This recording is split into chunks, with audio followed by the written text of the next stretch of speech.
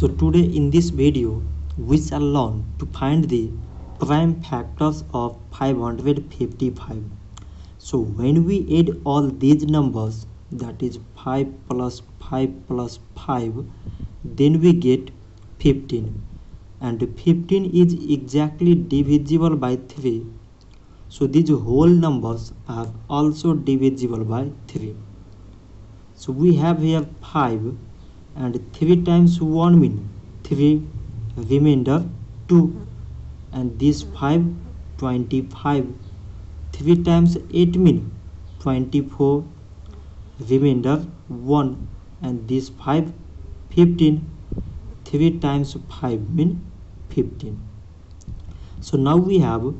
5 at the last and its sum that is 1 plus 8 9 plus 5 14 is not exactly divisible by 3 so it is divisible by 5 5 times 3 mean 15 remainder 3 and this 5 35 5 times 7 mean 35 so now we got here 37 which is a prime number. So it is divisible by 37 itself and we get here 1 therefore 555 is equal to from this side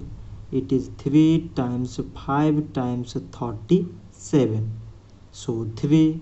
5 and 37 are the prime factors of 555 so this much for today and thanks for watching